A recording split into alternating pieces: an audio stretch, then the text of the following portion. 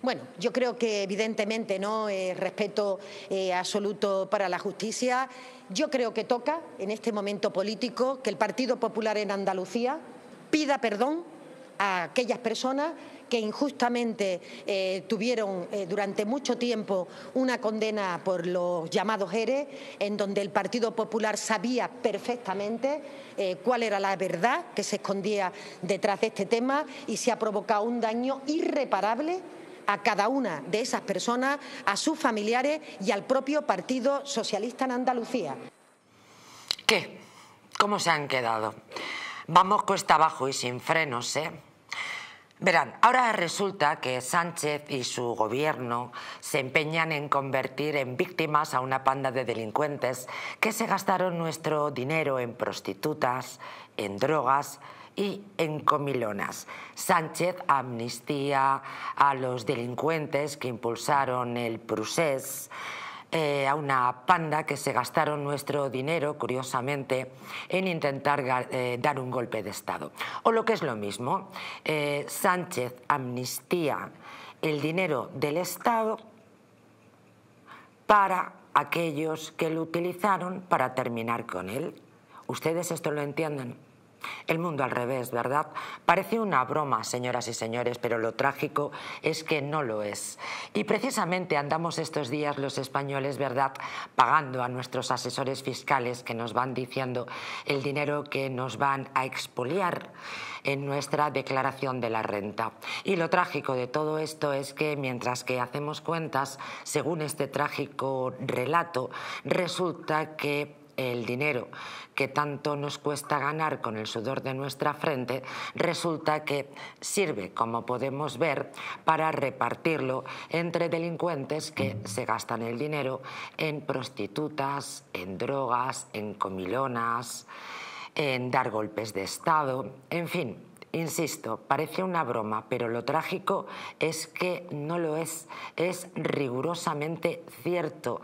Sánchez el trilero más peligroso de la historia de España, está a punto de dar un golpe de Estado, o mejor dicho, para ser más afortunada, está a punto de consumar un golpe de Estado. Todo comienza con atar a los jueces y poner una mordaza a los periodistas. Esto ya está en marcha.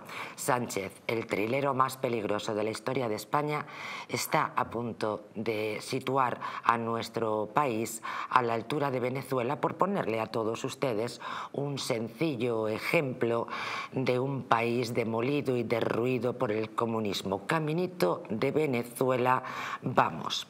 Señoras y señores, Sánchez, el trilero, más peligroso de la historia de España, además, se ha erigido en un chulazo dispuesto a sacarnos a todos el dinero para que estos delincuentes o cualquier otros vuelvan a consumar un golpe de Estado. Esto es una realidad como una casa de grande. Difícil es entender, ¿verdad?, que si hacemos como que algo no ha pasado, lo más probable es que vuelva a pasar. Y miren, saben ustedes, en mi caso, como mínimo, si tengo que tener un chulo que me saque el dinero, como mínimo, yo preferiría elegirlo. Y ya les adelanto que Sánchez no es mi tipo. ¿Y el suyo? Buenas noches, bienvenidos. Esto es El Mundo al Rojo.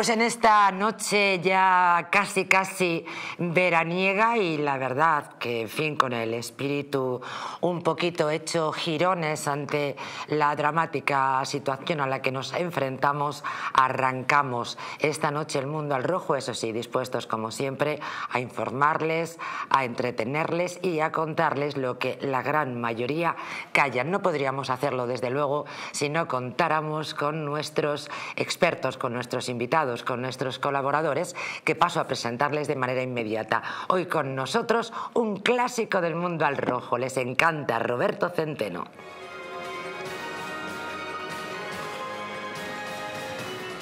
Nuevamente Albert Castillón. Fran Simón. Juan de Dios de Ávila. Fernando Sancho. Manuel Bernaldez y Rafael Palacios, Rafa Pal. Así arrancamos, señores, ¿cómo están? Voy a empezar por Juan de Dios Dávila, también un gran clásico de este programa, que hace días que ha hecho pellas como en el cole. Un gustazo volver a recuperarte. María José, y han sido fuerza mayor. Lo sé. Elecciones en, en, mi en, mi querida tierra guipuzcoana por España. Y ahí no, no podemos dejar de, de estar. Y naturalmente, y nosotros, desde luego, desde aquí lo, apoya, lo apoyamos. Rafael Palacios, conocido como Rafa Pal en las redes, un tío con mucha influencia. Bienvenido. Pues eh, encantado de estar otra vez aquí con todos nosotros. Y eh, recuperamos a Manuel eh, Bernaldez. ¿Cómo estás? Muy buenas muy noches, buenas Manuel. Noches. María José, muy bien. Ya sabes que siempre es una alegría para mí compartir mí programa también. contigo. Y así vamos eh, a arrancar y además sin perder eh, ni un minuto de tiempo porque les aseguro que tenemos tanta información para todos ustedes que yo muy segura de poder eh, contársela en dos horas no estoy. Así que vamos a optimizar el tiempo, oigan, aunque sea lo único que os optimice en este, en este país. El juez Aguirre abre una nueva investigación sobre la financiación de Rusia a Puigdemont por traición y por malversación en un auto al que ha tenido acceso Libertad Digital. El instructor acuerda la apertura de una pieza separada en el marco denominado caso Voló. El titular del juzgado de instrucción de Barcelona eh, ha iniciado esta nueva investigación, financiación de la Rusia de Vladimir Putin al expresidente catalán fugado Carlos Puigdemont para conseguir la secesión de Cataluña. Ahora les voy a dar más datos, pero esta es una noticia de alcance que me gustaría empezar a comentar con nuestros invitados. Bueno, pues la verdad es que ya es hora que se investigue efectivamente la financiación y la malversación de fondos que ha realizado Puigdemont, socio de, del gobierno de, Pedro Sánchez. Es un tema realmente serio porque Puigdemont, que está trabajando y le está financiando Pedro Sánchez y el resto de los españoles con nuestros impuestos, desgraciadamente, estamos financiando a una persona que quiere romper España. Por supuesto, Vladimir Putin, si quiere eh, que Europa sea inestable, pues qué mejor que, fomentar y financiar todo lo que supone inestabilidad. Y por tanto, no me extrañaría nada esas relaciones entre el nacionalismo eh, catalán y, y, la dictadura de Putin. Hablaba eh, Juan de Dios de Ávila de esa financiación efectivamente de los dineros de Cataluña. Terminaremos hablando en este programa. Me gustan los cierres circulares, ya saben que dicen que son los cierres perfectos en oratoria y hablaremos de la prisa que tienen ahora los catalanes porque tienen que hacer la declaración de, de Hacienda y dicen que no hay de la China. Pero eso es para finalizar el programa. Levantaba Rafa Pal el, el dedito. Sí, eh, bueno, yo con respecto a la malversación, pues es evidente que ha utilizado fondos del Estado para, para hacer una secesión, por lo tanto es algo absurdo, y, absurdo condenable y, y, bueno, pues perseguible. Pero yo sinceramente, después de años oyendo acerca de esta supuesta conspiración rusa para hacer o para potenciar esa secesión de Cataluña, no he visto a día de hoy ninguna prueba fehaciente e irrefutable de que eso sea cierto. Y yo particularmente, aunque tengo que decir que yo soy pro Rusia, yo creo que Rusia está enarbolando unos valores cristianos, de hecho es la reserva espiritual de Occidente, de Occidente bueno, de Europa ahora mismo, y no creo que a Putin le interese eh, mover una secesión en un país en principio amigo como es España, cuando tiene, se podría reproducir eso mismo en los confines de esa gran Rusia donde hay muchas nacionalidades que podrían eh, bueno, pues hacer lo propio. Así que yo, sinceramente, no me creo esa conspiración. Manuel Bernaldez. Discrepo totalmente con lo que acaba de decir el compañero, porque yo pienso que con todo lo que hemos leído hay indicios de sobra para que se hubiese investigado antes. Lo increíble aquí es lo tardío que se ha hecho la investigación judicial. Esta gente está viajando a Rusia, se ha estado entrevistando con personajes rusos, han recibido aquí también emisarios de Putin y es evidente que, había una conspiración para, eh, eh, podemos decir, eh, desbancar la, Unión, la unidad de España y también la Unión Europea y dentro de que estamos en un conflicto además con Ucrania y Rusia y con Ucrania está toda la Unión Europea. Por lo tanto, a mí me parece lógico que se investigue y que se depuren las responsabilidades que hay. Como mínimo, se está hablando de la alta traición. No, pense, no olvidemos que esta gente estaba en el poder de una comunidad autónoma. No era uno que andaba por la calle que iba, que iba a ver como Mortadelo y Filemón a un emisario de Putin. No. Estos estaban en el poder en la comunidad autónoma de Cataluña y se entrevistaban con un presidente de extranjero o un emisario o un intermediario para tratar de ver cómo lo podían apoyar en el tema de la independencia catalana. Por lo tanto, el tema es gravísimo y han malversado fondos para poder hacer todo eso. Es lógico que se investigue. Claro que sí, eh, vamos a buscar más información sobre este asunto, la estructura piramidal de Puigdemont, Alay y Bollier, para que el Kremlin reconociera una eventual república catalana. Buscamos información y análisis con Fernando Sancho. Fernando, muy buenas noches. Hola, buenas noches, María José y compañía. Bienvenido. ¿Qué tal? Gracias.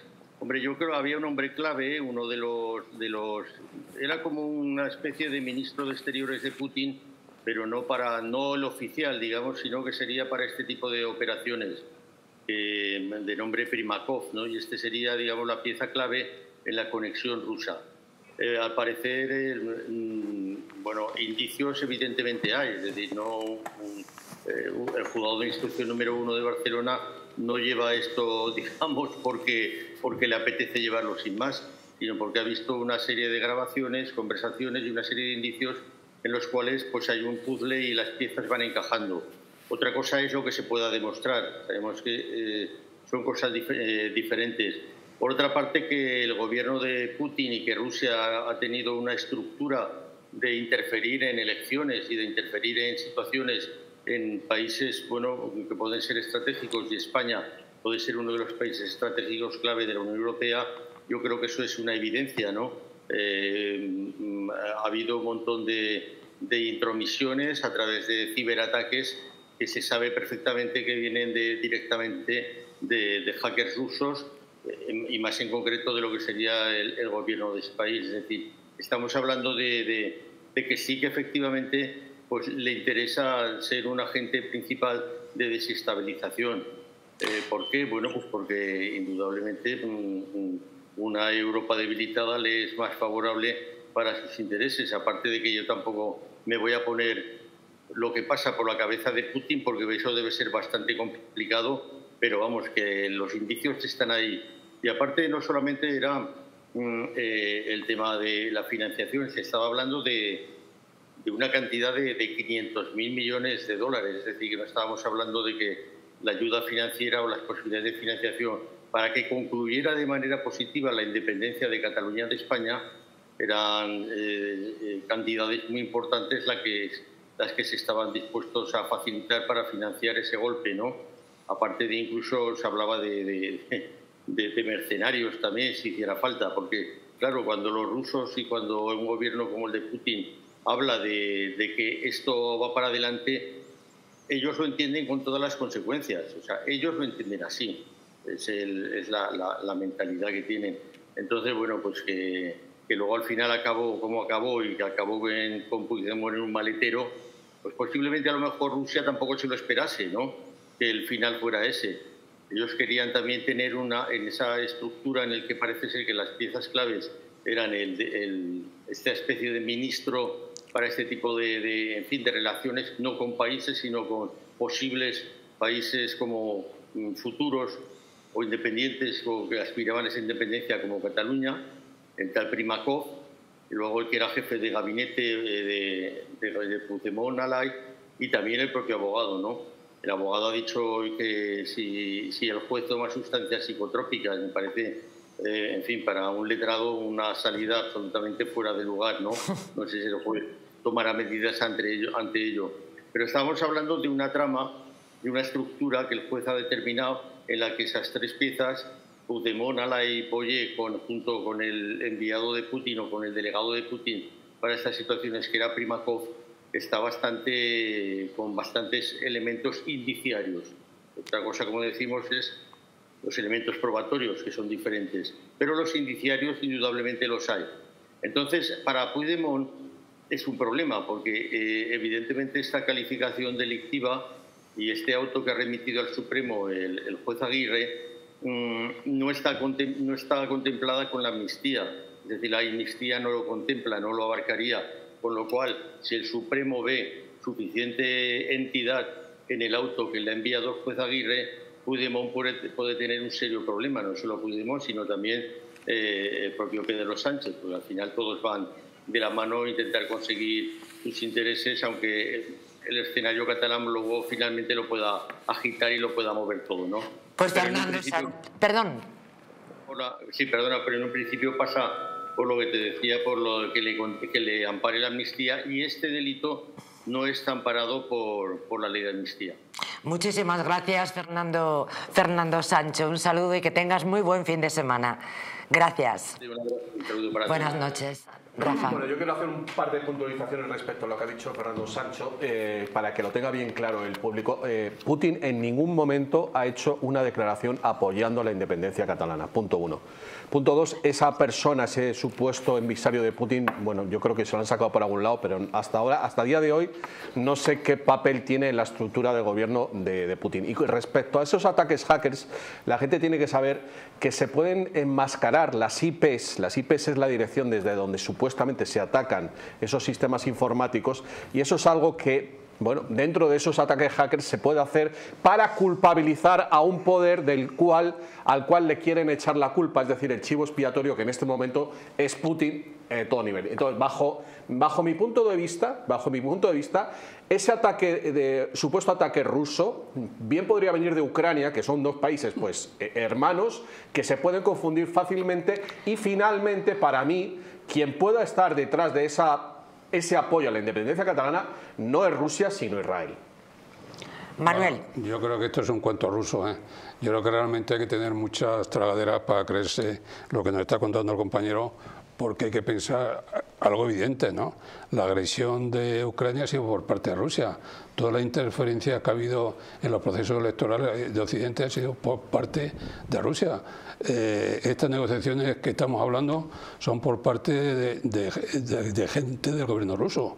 Por lo tanto, el pensar que está, está Ucrania o que está Israel pues bueno, mm, yo creo que los indicios ahora apuntan todo a Rusia y vamos a ver que se depuren y qué es lo que sale ahí.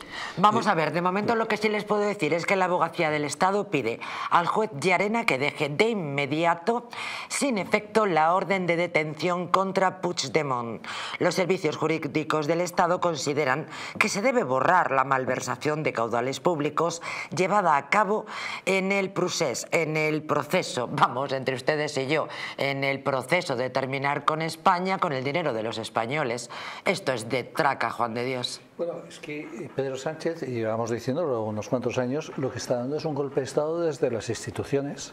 Entonces, evidentemente estamos ya en la fase final en la que, bueno, pues el conflicto de, entre instituciones, entre el Tribunal Supremo y el Consejo General del Poder Judicial y el Tribunal Constitucional y, la Fiscalía General, está, es, un totum revolutum en el que, bueno, pues desgraciadamente el Partido Socialista quiere eh, imponer una justicia de partido, es decir, será verdad o mentira, será justo o injusto aquello que le interese que sea justo o injusto al Partido Socialista para mantenerse en el poder, junto con sus socios de ETA y, H. Bildu, y, evidentemente pues va a laminar, o es lo que quiere, es laminar, destruir, acabar con la independencia de poderes, con la independencia del Poder Judicial.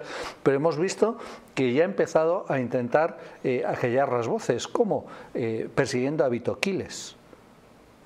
Eh, si el resto de periodistas no ponen pie en pared y, dicen, ojo, que a un periodista por eh, expresar su opinión, por hacer su trabajo, usted como poder absoluto que quiere tener no puede hacer esa persecución, de no hacerlo así, en breve Maruenda, eh, ¿no? con su perro y, su, buen talante, pues acabarán en la cárcel si es una persona íntegra. Eh, a lo mejor Maruenda no termina por esto en la cárcel, pero, pero lo que quiero decir es que todo, periodista que sea una persona íntegra, que realmente eh, tenga ética, que realmente disienta de este golpe de Estado que está dando el Partido Socialista, eh, van a perseguirlo. Ya han empezado con Vito Quiles. Vamos a la última fase del golpe de Estado que está dando eh, Pedro Sánchez. El Partido Popular está mirando a otro sitio y bueno, esto, es lo que hay. ¿eh? Esto... Y si eh, el mundo parece al revés con las noticias que les contamos en el mundo al rojo, que parecen realmente eh, propuestas para el Día de los Santos Inocentes, terminar el programa diciéndoles, venga, vaya susto que les hemos dado, no es la realidad. Bueno, pues resulta que la asociación... ANC y Omnium exigen al juez que no se aplique la amnistía a los policías del 1 de octubre. O sea, esto Insisto, como diría mi abuela, es para migitar y no echar ni gota. Lo han pedido después de que el juez instructor que investiga a los policías del 1 de octubre haya pedido el posicionamiento de las partes, eh, ha informado la ANC en un comunicado. Eh, ven en la actuación de los agentes incompatible con el convenio por la protección de los derechos humanos y de las libertades fundamentales. De hecho, sostienen que los actos investigados deberían quedar exentos de la amnistía porque pueden representar delitos de tortura o trato inhumano o degradante. En este sentido, las organizaciones personadas contradicen los argumentos de la Fiscalía que se ha posicionado a favor de aplicar la amnistía a los agentes investigados. Así que, señoras y señores, resulta que vivimos en un país, pagamos con nuestro dinero a un Estado que no se duelen en prendas, en amnistiar a delincuentes que se gastan nuestro dinero en prostitutas, drogas, comilonas o, lo que es incluso mucho peor, gastarse nuestro dinero en dar un golpe de Estado, es decir, en terminar con nuestro país, pero sin embargo a los policías que muchos de ellos eh, después del 1 de octubre terminaron retirados del cuerpo y en una situación lamentable, a ellos no. ¿Esto por dónde lo cogemos? Bueno, pues es el criminal, pero sí es normal. Es decir, el Partido Socialista con quién está aliado? Con, ETA, EH Bildu, que tiene una sentencia, EH Bildu tiene una sentencia en firme del Supremo indicando que formaba parte de la estrategia de ETA. Lo que pasa es que el Tribunal Constitucional no dejó que no, que, no, bueno, que no se pudiese llevar a efecto esa sentencia. ¿Quiénes son los otros socios de, Pedro Sánchez, del Partido Socialista? Gente que ha malversado fondos, es decir, robado dinero que era de nuestros impuestos que tenía que dedicar a la educación, a la sanidad, al transporte público, todo eso lo ha utilizado y lo ha desviado para dar un golpe de Estado. Es decir, ha dado un golpe de Estado y además malversado. Para mí es robar. Bueno, esos son los socios de Pedro Sánchez. ¿Qué es lo que está sucediendo? Que los criminales y los delincuentes son los que están tomando las instituciones y son los que están diciendo la policía, por haber cumplido la ley, por hacer que se cumpla la ley, ahora va a resultar que son los delincuentes. Y el criminal y el delincuente que o asesinó o secuestró, Otegui estuvo en la cárcel por secuestrar, por formar parte de ETA y secuestrar, está pendiente además de unos asesinatos y de otros secuestros y es socio del Partido Socialista. Esos criminales y los delincuentes que han malversado dinero y que han dado un golpe de Estado, esos son los que van a decir que sus crímenes y sus delitos no han sido delitos. Ellos podían asesinar, podían robar o podían dar el golpe de Estado. Sin embargo, la policía, si defiende al hombre justo, si hace cumplir la ley, esos son los delincuentes. Esa es la España y ese es el sentido profundo del golpe de Estado que está dando ahora mismo el Partido Socialista Obrero Español con Pedro Sánchez a la cabeza. Bueno, Manuel, la verdad es que la, no sé cuál es tu reflexión sobre esta circunstancia. Recordaba una noticia de ayer, creo que eh, también esta panda de delincuentes eh, proponían hacer de la comisaría de Vía Layetana un lugar de un museo, ¿verdad? De la tortura mm. del Estado español, naturalmente, y de la represión. Es Bueno, es una tomadura de pelo realmente absoluta porque los delincuentes le tenemos que pedir perdón y a nuestra policía, en cambio, la tenemos que condenar y luego amnistiarla. había que haberlos absuelto. O sea, un policía que está allí cumpliendo su deber, eh, había que haberlo, eh, decir? Totalmente eh, respaldado y, no permitir nunca que lo hubiesen procesado ni condenado. Es increíble. O sea, esta mañana ha dicho Felipe González en una radio que van a hacer falta más amnistía a la vista de la actitud que tienen los separatistas catalanes. Ha hablado de una infecta amnistía cada seis meses. Y me temo que se ha quedado corto. ¿eh? Con este paso va a tener que ser cada tres meses. Esto va a ser una especie de amnistía permanente, como la revolución permanente de Mao. Esto va a ser la amnistía que no acaba, porque están continuamente con ganas de seguir incurriendo en todas las barbaridades que han hecho. Me parece razonable que si alguien comete un delito y de pronto alguien lo borra, lo más normal o lo que haría cualquiera es volver a repetirlo, que es lo que va a suceder. Sí, bueno, aquí mm, hay que recordar las declaraciones de, la, de diversas asociaciones de policías y sindicatos que bueno, pues han dado fe que cómo se ha recibido en el cuerpo eh, bueno, pues estas, estas mm, directrices socialistas o estos acuerdos con los independentistas y lo que hace, pues claro, cómo se van a sentir los policías, cómo van a hacer su trabajo a partir de ahora, sabiendo que, no tienen el apoyo de, la administración y que, se puede volver las tornas y cuando, bueno, cuando tienen que actuar, luego en lugar de, digamos, que protegerles, porque ellos al final son los mandados, pues van a, van a amnistiar a aquellos a los cuales les han dicho que tenían que reprimir, porque es la palabra que es una, una secesión hay que no, naturalmente. si van a dar un golpe de Estado, hay que, reprimir, naturalmente. Del lenguaje. Y en cambio, pues, pues eh, no le van a proteger. Entonces, a mí lo que me preocupa es eso, que, a partir de ahora, pues es que los policías cuando tengan que actuar, pues se lo piensen dos veces. Hombre, ya te puedo adelantar a ti y a todos los eh, espectadores que la policía mm, en este país tienen mucho miedo eh, a enfrentarse a los canallas, a los criminales y muchas veces se dejan matar, como no voy a dejar de recordar en Barbate, podrían haber disparado contra aquella narcolancha, pero los policías en España tienen miedo de defenderse tienen miedo de utilizar eh, sus armas porque luego llega, luego llega el ministro de Interior, luego llegan los protocolos y les pueden eh, poner de patitas en la calle o meterles en la cárcel.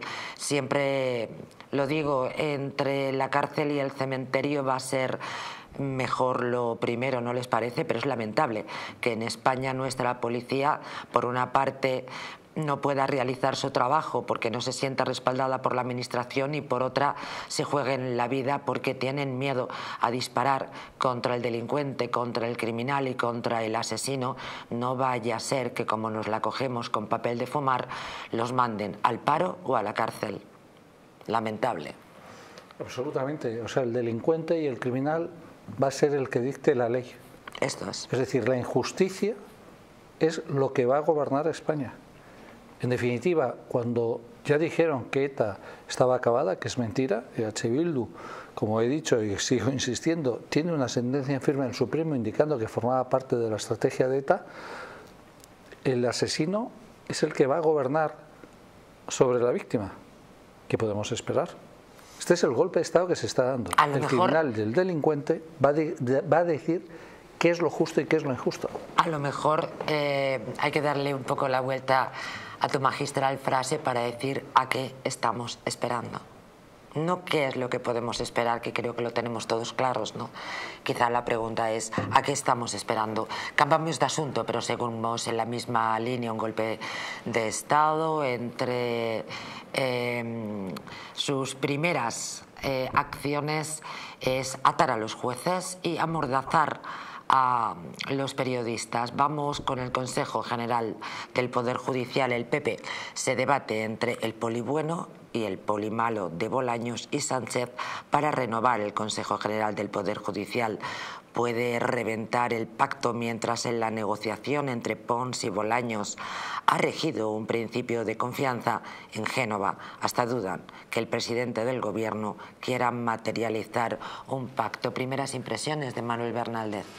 Bueno, es un momento, yo creo, crucial para el tema judicial en España, esa negociación. Si se dejan ganar de nuevo el PP, realmente el país va a estar perdido porque la única defensa ahora mismo son los jueces, el Consejo de Poder Judicial y los jueces que tenemos.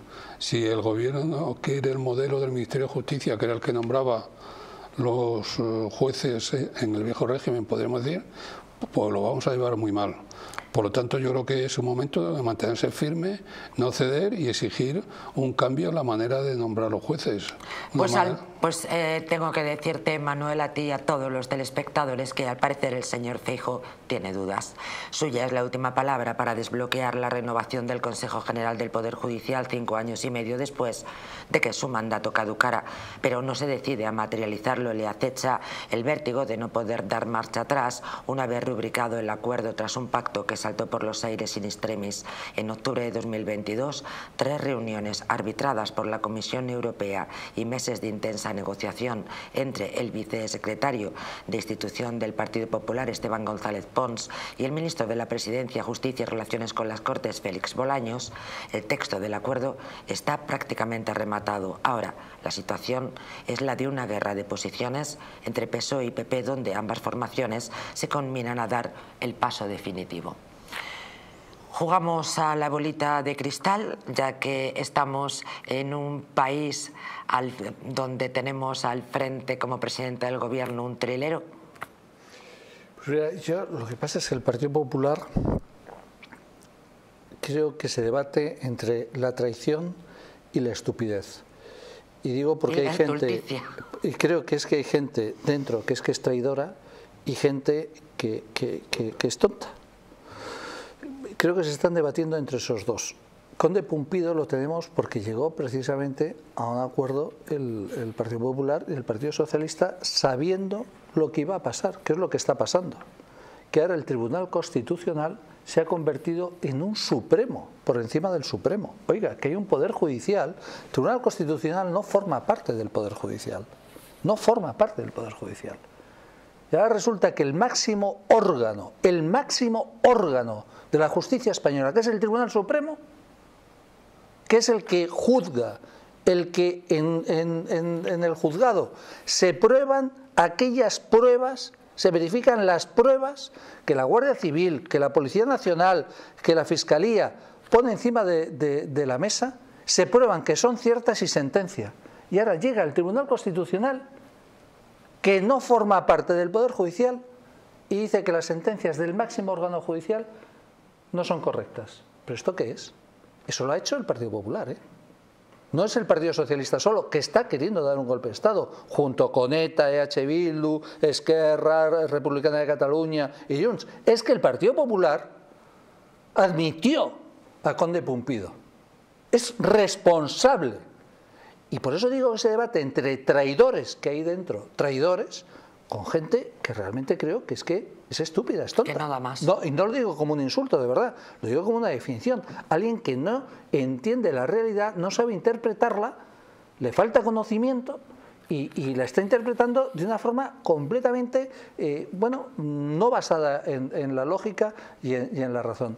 Si ahora el Partido Popular, solamente el hecho de que esté duda, viendo lo que está pasando ahora mismo en España, viendo cuáles son los socios que tiene el PSOE, que es que estamos hablando de ETA. Hoy precisamente hace 31 años que ETA asesinó a mi hermano Fidel junto con otros seis compañeros. Hoy. Hoy, justo hoy, el 21, de, junio, a las 8 y cuarto, siete personas fueron asesinadas por ETA. Mi hermano era teniente coronel y otros seis compañeros más eh, fueron asesinados. Es que esa gente es la que es socia del Partido Socialista y el Partido Popular está dudando llegar a un acuerdo con un gobierno que tiene como socios a Otegi, que estuvo en la cárcel por secuestro, por formar parte de ETA, por asesinar, por secuestrar, por extorsionar. Y, el Partido Popular está dudando si llega a algún acuerdo con esa gente. Pero ¿qué piensa el Partido Popular que va a querer una persona que ha asesinado, que ha secuestrado, que ha extorsionado? pero el Partido Popular feijó toda esa caterva que se debate entre tontos y traidores, ¿de verdad están pensando que esa gente quiere el bien de España y de los españoles? Si ya están diciendo que la policía que hizo cumplir la ley en Cataluña cuando hubo un proceso eh, secesionista, los quieren condenar y sin embargo el que incendió las calles, el que tomó infraestructuras estratégicas y fundamentales en Cataluña, como fue el aeropuerto, como fue la estación de trenes, ¿los van a amnistiar? ¿Y el Partido Popular de verdad se debate en ver si llega a un acuerdo con esa gente? Pero vamos a ver, ¿usted llegaría en su casa a algún acuerdo con alguien que ha violado a su hija? ¿Usted llegaría de verdad a un acuerdo con alguien que ha violado a su hija? Eh, Yo no llegaría a ningún acuerdo. Usted tiene que ir a la cárcel. ¿Por qué? Porque ha violado a mi hija. Es un sinvergüenza, es un criminal y esa gente tiene que estar en la cárcel. Lo mismo los socios del Partido Socialista. Si el Partido Popular realmente está dudando de eso, sinceramente creo que entre tontos y traidores hay más traidores que tontos dentro de ese partido. Bueno, yo, quería decir algo en este tema porque yo creo que hay un aspecto que es fundamental por lo que están negociando, que es que ahora mismo eh, todos los nombramientos judiciales están bloqueados. Hay vacantes por en todos los niveles judiciales, en los tribunales, en los juzgados, la magistratura, eh, no cubren las vacantes. Por lo tanto, el, el ciudadano de a pie está sufriendo una demora increíble en que se le aplique la justicia que merece o que le corresponde. Por lo tanto, eh, asumiendo todo lo que tú dices, en parte, ¿eh? porque yo quiero pensar también que hay gente honrada dentro de los partidos. No, no podemos pensar que todos son tontos y que todos son estúpidos, estaríamos perdidos. ¿eh? Hay gente honrada, evidentemente. Y yo quiero pensar que en esa cuota de gente... Puede ser honrado y un tonto lava. Bueno, también, como dijo aquel que se puede ser tonto y hablar inglés. Pero bueno. Dejando aparte la anécdota de Ortega con Madriaga, yo creo que es evidente también un hecho necesario. Si no se cubre el Consejo de Poder Judicial y se renueva, el bloqueo absoluto y lo están sufriendo los ciudadanos. Pero ese, bloqueo ¿Por qué se está haciendo? Porque lo está provocando el gobierno. Ahí eh, eh, vamos. Entonces, el gobierno ha cambiado, la norma y, no lo deja piensa en esto. Si quiere que yo llegue a un acuerdo y para llegar al acuerdo son capaces de hacer una ley que dada la situación actual es imposible convocar para las plazas que están vacantes y eso lo sufre el españolito? Si es capaz de hacer ese chantaje ahora mismo al pueblo español y al Partido Popular, si es capaz de llegar a hacer eso, sabiendo que está haciendo daño a los españoles, ¿tú crees de verdad que si llegas a un acuerdo con esa persona que ha sido capaz ahora mismo de hacer ese chantaje miserable que están sufriendo todos los españoles, vas a llegar a algo bueno para los españoles? si les da igual los españoles. hay que intentarlo, por lo menos hay que intentarlo ¿eh? y tratar de conseguirlo. Pero yo creo que tirar la toalla también se lo está poniendo a huevo. ¿eh? Pero, sí, pero a un acuerdo con Hitler en decir, oiga, vamos a llegar a un acuerdo para ver cuántos judíos eh, antes, antes, de, antes, de, Churchill, antes de Churchill estuvo Chamberlain, ¿eh? y Chamberlain cuando se dio cuenta que no servía, pues le cedió los trastos a Churchill.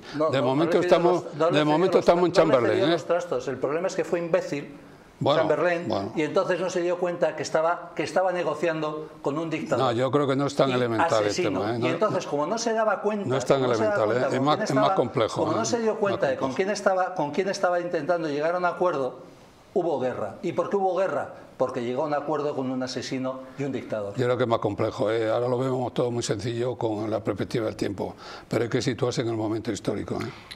Sí, yo lo que. Bueno, mm, no voy a decir nada que yo creo que la mayor parte de la gente no sepa. Bueno, mm, yo creo que la generalidad de la población no se está enterando de la gravedad de este asunto concerniente a los jueces, eso es lo primero.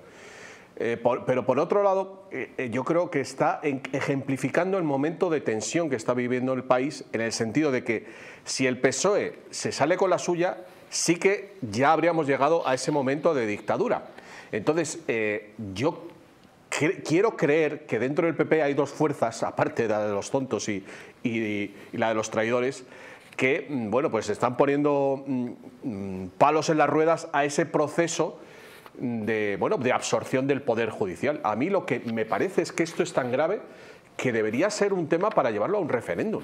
O sea, si quieren cambiar la forma en la que se eligen los jueces, dado que es uno de los tres poderes fundamentales de una democracia, pues esto tendría que ser de dominio público y hacer que la gente tomara conciencia de la gravedad de la situación llevándola a un referéndum. Lo que pasa que, bueno, a nadie se le ha ocurrido eh, bueno, pues, mm, bueno, no sé si incluso la, Constitución prevé... Lo, dice, cómo hay que nombrarlo. Lo, cambió Felipe González, ¿eh? Pero lo, dice la Constitución, cómo hay que nombrarlo. Y el PP lo que quiere volver es a eso, lo que dice la Constitución.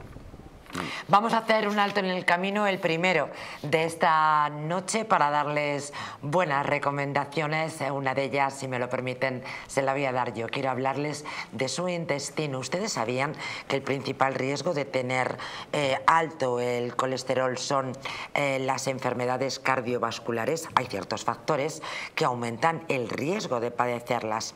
Algunos no son modificables, como por ejemplo nuestra edad o los antecedentes familiares, pero en otros casos sí podemos actuar si mantenemos una dieta y un estilo de vida saludable y además realizamos ejercicio físico con regularidad.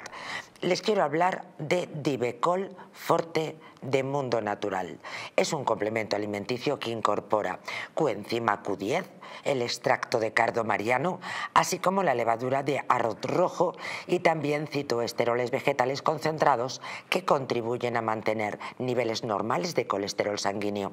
Divecol Forte de Mundo Natural de venta en parafarmacias, tiendas especializadas en el 91 446 0000 o en parafarmaciasmundonatural.es. Divecol contra el colesterol. Nos vamos, regresamos, Begoña, Miley, el rey, Dios mío, lo que tenemos por delante, no se lo pierdan.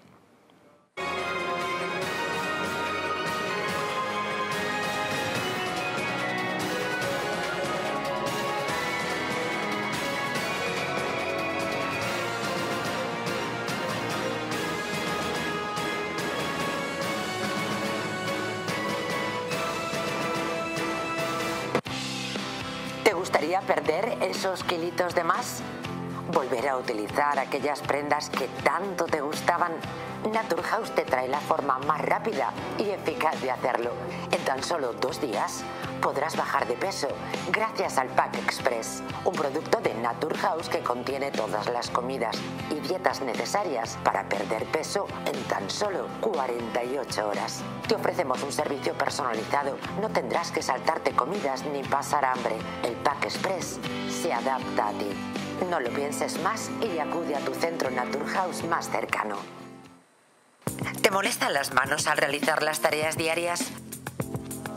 Frente al dolor, utiliza los guantes de Relax Quanting Nanotech. Innovación revolucionaria en la lucha contra el dolor y la rigidez. Con sesiones de 20 minutos los guantes aportan masaje, vibración y también calor, proporcionando alivio medio del tormento. Puedes adquirirlos con unos consumibles impregnados de sustancias naturales antiinflamatorias que, si se ponen durante la sesión, pueden aumentar el beneficio del guante. Olvida los engorrosos baños de agua caliente y las cremas antiinflamatorias. Libérate con los guantes de Relax Quanting Nanotech. Hotel Las Dunas, un lugar mágico en el corazón de la Costa del Sol. En primera línea de mar, situado en un oasis de armonía, tranquilidad enfocado en la salud y bienestar de nuestros huéspedes. Desconecta del estrés y la monotonía del día a día. Estancias con programas exclusivos y personalizados de salud, rejuvenecimiento y control del peso. Elegancia y bienestar junto al mar sin renunciar a la actividad y la vida saludable. Descubre las Dunas Hotel Health and Spa el más exclusivo de toda la Costa del Sol.